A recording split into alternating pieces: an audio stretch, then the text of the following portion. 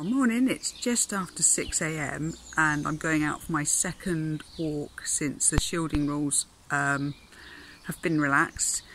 Um, I'm heading out this early just because just to avoid people and groups. I'm currently shielding, I've got se severe asthma um, and I've been shielding since the 13th of March.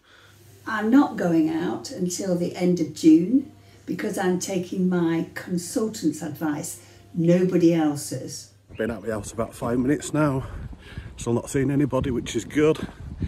What I have noticed in the last few days when I've been out is when I do see anybody, you try and cross the road completely and avoid them if you can.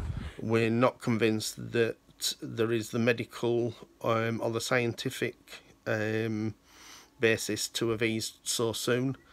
Um, there's a lot of information um, being bandied about, um, but nothing that seems to back up the easing. I actually quite like coming to a park because obviously you can give people a wide berth. Yeah, it's quite open. So another dog walker up there. I don't think we're coming this way, fortunately. Will I continue only going out at this time? Yes. Uh, just I've seen four runners, um, three older people walking, and a couple of dog, dog walkers. So it makes me feel more in control of the situation.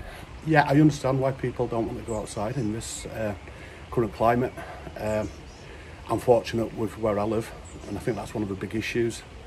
If you live in a big city like London and you can't do this, I don't think I'd go out. I would be so paranoid. You know, it is what it is. We have to cope with it, and I'm doing my best and I'm sure everybody else is. Um, think positive